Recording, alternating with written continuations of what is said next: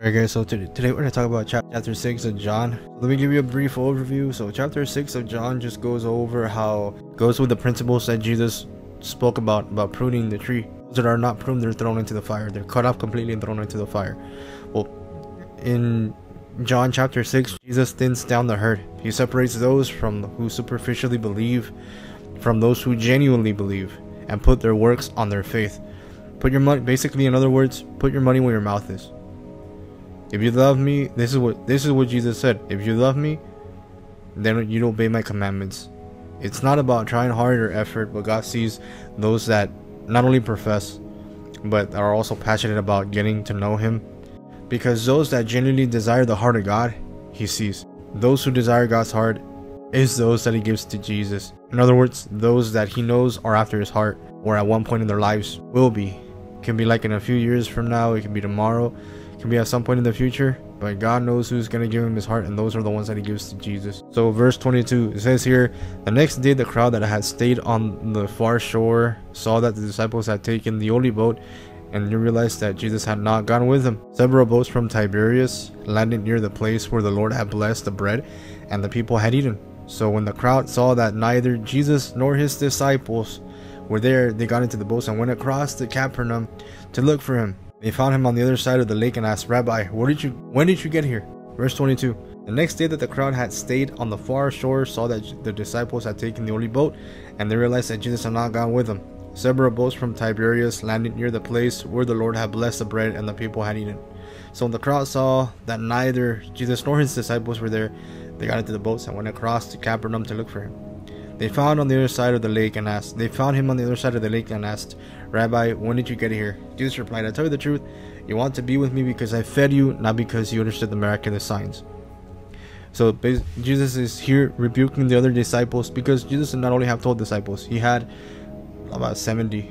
And th those that were not the 12, in other words, the other ones that were following him, they followed him because Jesus in the earlier in this chapter had look uh sorry i went too far. Look look look. The first the first verses in the same chapter. Uh jesus feeds the 5000 so this is where he fed the 5000 he multiplied the fish. And you know like like when people get fed they're hungry and they follow they go where there's food right? So in in in essence this is what was happening here. Jesus he he can discern their motives and he says right here i tell you the truth you want to be with me because i fed you not because you understood the miraculous signs. In other words you have other motives and those motives don't even involve wanting to be with me. Those motives didn't involve seeking after the will of god. The the motives that you have is only one-sided. It's only one benefits you. Just because i fed you you want to you, you're you're here just because I fed you. You're not here because you want to do the will of my Father, right? That's basically what he's saying. And then he goes on to verse 27. But don't be so concerned about perishable things like food. Spend your energy seeking the eternal life that the Son of Man, which is Jesus, can give you. In other words, you why are you focusing on earthly things? Why are you focusing on things that pass away at some point? Those things don't matter. Everything that's here on the earth is like a cardboard paper version of what's in heaven. The nicest things here on the earth are only a cardboard version of what's in heaven, right? When you when you read the book of Exodus, uh, God had instructed Moses how to build the tent where His presence would dwell. Well, in heaven, there's there's heavenly tents, but they're not made out of cloth or they're not made of, of linen, none of that. They're made from glorious things, glorious things that we can't even imagine, right? But there's is it's like a reflection and that's what it says in Corinthians also. Paul says that this right here we only see like a partial reflection of what's in heaven. Right? So everything that's that's on the earth is, is like a paper cardboard cheap version of of what's in heaven of the glorious things of of the things of of uh, of god verse 27 that the son of man can give you for god the father has given me the seal of his approval in other words jesus had the authority given to him by god because he is god himself verse 20, they replied, We want to perform God's works too. What should we do?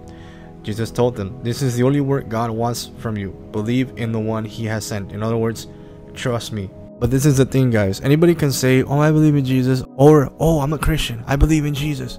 But when somebody is truly a believer, they'll do what Jesus commanded because they sincerely put their trust in him. They would repent automatically. Repentance would be automatic. They'd be like, no question about it. I don't agree with sin. Two, they would turn to Christ and submit to Christ, and they would at least intend on following the will of God, of being more like Jesus. They'll be very intentional about living like Jesus lived, right? Not just by words. That's what it really means to sincerely believe in Jesus. When you want to live like Jesus lived, and when you want to do what he did, when you have a sincere love for him, that is genuine belief in, in Jesus superficial belief is is saying i go to church on sundays and i i go to church because my parents take me or because my parents go to this church. So therefore i am what they are right? And it's not the way it works right? When you walk like christ that's when you know that your faith is genuine. When you put your faith to the test and you see that your faith is genuine you walk like jesus dude. You you're intentional. Doesn't mean you're always gonna succeed doesn't mean you're always going to get it right, but you're intentional about living like Jesus lived. When you're intentional about seeking the will of God in your life, when you're intentional about self-crucifixion, you're crucifying the flesh, the sinful nature. That's that's when you know that you're walking like Jesus walked. Believe in the one He has sent sincerely. Verse 30, the answer Show us a miraculous sign if you want us to believe in you. What can you do? After all, our ancestors ate manna while they journeyed through the wilderness. The scripture says Moses gave them bread from heaven to eat. Then Jesus said, I tell you the truth, Moses didn't give you bread from heaven. My Father did. Now he offers you the true bread from heaven. The true bread of God is the one who comes down from heaven and gives life to the world. So, guys, let's talk about it. What is the purpose of bread? Purpose of the purpose of bread is to feed you because you go hungry. You need food to survive. God gave them life. God gave God provided food in the desert for the Israelites when they when, when they left Egypt. They had they, at some point they ran out of food, and they asked God for food, and God gave them manna. Manna is like like grain, like a like a form of grain, right? And He also sent them quail, which is like a form of bird that they would hunt, right? In other words, God gave them the means to eat. But what think about it like this: the essence of bread. What does it do? It feeds you. It nourishes you. It keeps you alive right here jesus is referring to himself as a living as a bread of life the one who keeps you alive. In other words your source of life. Jesus is referring to himself as the source of life who gives life to the world. That's what it says in the verse. And he's saying the bread the physical bread that your ancestors ate is just like a form like a like a like the natural form of, of eating bread. Sure yeah you buy a loaf of bread and you eat and you're full right? But he's referring to himself as the true bread as in like the original bread of where the entire concept came from, the one that sustains life. Are you understanding what I'm saying? So what we eat is just like a like a cardboard, not literal cardboard, but like a cardboard, like a paper version of the real thing. But this refers to spirit in, in a spiritual sense, in in a, in a heavenly sense. The real bread, the real bread of life that keeps you and sustains you. Later on, we're going to talk about how how when Jesus told the disciples to eat his flesh and drink his blood, the other ones that the other 70 that we discussed about earlier, they deserted him. But I'm, I do not want to get too ahead of myself. Let's keep reading. Verse 34 Sir, they replied, Give us that bread every day. Jesus replied, I am the bread of life. Whoever comes to me will never be hungry again. Whoever believes in me will never be thirsty. But you haven't believed in me even though you have seen me. Isn't that incredible, guys? That they had God in front of them and they still didn't believe him. He did all these miraculous signs. Think about it, guys. It baffles me how in the same chapter, Jesus fed 5,000 people with five loaves and two fish. And they still were asking for another sign. They're like, oh, that wasn't enough. Oh, yeah, sure. You multiplied two, two, uh, two fishes and five loaves of bread for 5,000 people and that still is not that's that's not a miraculous sign to them. Guys that's incredible guys. And that's how cold-hearted they were. That's how cold their hearts were. That's how that's how that's how blind they were. They were not willing to believe. They didn't want to believe. They're like we know that you've done all this stuff but we still don't believe in you. Show us something else. But the thing is they were always going to give jesus the runaround.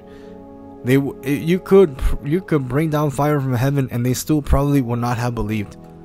You could have done extremely powerful miracles in front of these kind of people. And they still would have said show us another sign. That's not enough. In other words they were dictated by their flesh. That's what the flesh does. All the flesh does is gives you the runaround. You're chasing your own tail.